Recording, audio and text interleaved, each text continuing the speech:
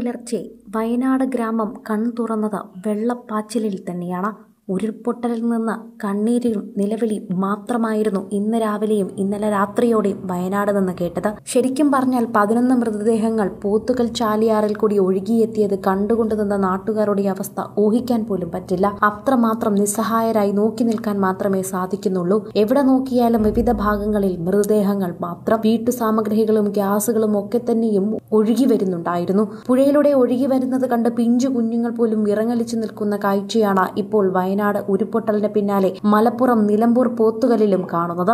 അവിടുത്തെ ജനങ്ങളെല്ലാം തന്നെ പുഴയിലേക്ക് വെള്ളപ്പാച്ചിൽ കാണാൻ ഒഴുകിയെത്തുമ്പോൾ നോക്കുന്നത് മൃതദേഹങ്ങൾ മാത്രമായിരുന്നു. മൃതദേഹാവശിഷ്ടങ്ങൾ ഉൾപ്പെടെയാണ് ഇത്രയും ലഭിച്ചത്. പനങ്കയം പാലത്തിന്റെ അടിയിൽ നിന്ന് ഏഴ് വയസ്സുകാരിയുടെ മൃതദേഹം ലഭിച്ചതായി നാട്ടുകാർ അറിയിച്ചു. ഊഞ്ഞിപ്പാലയിൽ നിന്ന് മൂന്ന് വയസ്സുള്ള കുട്ടിയുടെ മൃതദേഹമാണ് ആദ്യം കിട്ടിയത്.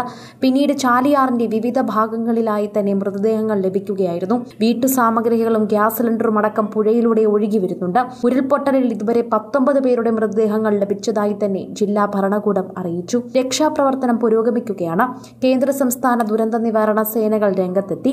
നിരവധി പേരെയാണ് ആശുപത്രിയിൽ പ്രവേശിപ്പിച്ചത്. നിരവധി കുടുംബങ്ങളെ കാണാതായിട്ടുണ്ട്. സ്ഥലത്ത് രക്ഷാപ്രവർത്തനം പുരോഗമിക്കുകയാണ്. മുണ്ടക്കയിൽ മാത്രം നൂറോളം കുടുംബങ്ങളെയാണ് ദുരന്തം ബാധിച്ചിരിക്കുന്നത്. കുടുങ്ങിയവരിൽ വിദേശികളും അകപ്പെട്ടതായി സംശയമെന്ന് T Siddique M L A തന്നെ പറയുന്നുണ്ട്. രക്ഷാദൌത്യത്തിനായി സൈന്യം എത്തിച്ചേരുമെന്ന് പറയുന്നു. ചില പ്രദേശങ്ങളിലേക്ക് ആർക്കും എത്താൻ പോലും ആകുന്നില്ല ആരെയും രക്ഷിക്കാൻ പോലും ആകുന്നില്ല മരണസംഖ്യ എത്രയാണെന്നോ എന്താണെന്നോ പോലും നമുക്ക് അറിയാൻ സാധിക്കുന്നില്ല. അത്രമാത്രം വേദന പകർന്നുകൊണ്ടാണ് ഇന്ന് രാവിലെ വയനാട് നിന്ന് ഓരോ വാർത്തയും പുറത്തു വരുന്നത്. എപ്പോഴും ഉരുൾപൊട്ടുന്ന പ്രദേശം തന്നെയാണ്.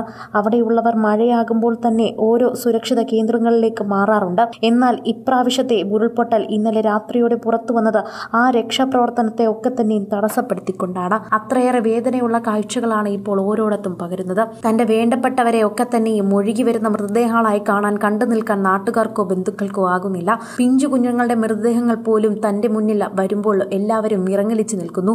എന്തു ചെയ്യണമെന്ന് പോലും അറിയുന്നില്ല. ഒഴുകിക്കൊണ്ട് പോവുകയാണ്. ഒഴുകി വരുന്ന കാഴ്ച കാണുമ്പോൾ തന്നെ വിറങ്ങലിച്ചു നിൽക്കുന്ന നാട്ടുകാരുടെ കണ്ണുനീർ മാത്രമാണ് ഇപ്പോൾ ഉയർന്നു കേൾക്കുന്നത്. എല്ലാവർക്കും വിഷമം മാത്രം. എല്ലായിടത്തും സങ്കടവും നിലവിളിയും അലർച്ചയും മാത്രം. വയനാടും മലപ്പുറം തുടങ്ങിയുള്ള ഉൾഗ്രാമങ്ങളെല്ലാം തന്നെ ഇപ്പോൾ കണ്ണീരിലും വെള്ളത്തിനടിയിലുമായി. വെള്ളത്തിനടിയിൽ തന്നെ എത്രയാളുണ്ടെന്ന് പോലും തിരിച്ചറിയാൻ പറ്റുന്നില്ല. രണ്ടാൾ പൊക്കത്തിൽ ചെളി നിറഞ്ഞ സ്ഥലങ്ങൾ വരെയുണ്ട്. സ്കൂളുകളുമായി പൂർണമായി നശിച്ചു. ഇന്നലെ ഒരുമിച്ച് യാത്ര പറഞ്ഞ് കിടക്കാൻ പോയ വീടുകളിലെ ജനങ്ങളൊന്നും ഇന്ന് കാണാനില്ല. തൊട്ടടുത്ത അയൽവാസികൾ പോലും ഇന്ന് രാവിലെ എണീറ്റപ്പോൾ വെള്ളം കൊണ്ടുപോയി. വീടിന് ചുറ്റും വെള്ളമായി പോയ ഒരുപാട് പേരുണ്ട്. ഇതിനിടയിൽ എങ്ങനെയോ രക്ഷപ്പെട്ടു പോയവരുടെ അലർച്ച മാത്രമാണ് ഇപ്പോൾ ആ ഗ്രാമങ്ങളിൽ നിന്ന് ഉയർന്നു കേൾക്കുന്നത്. സിനിമ ഫാഷൻ ലൈഫ് സ്റ്റൈൽ വാർത്തകൾക്കായി മലയാളി ലൈഫ് സബ്സ്ക്രൈബ് ചെയ്യൂ. ലേറ്റസ്റ്റ് അപ്ഡേറ്റ്സിനായി ബെൽ ബട്ടണും അമർത്തും.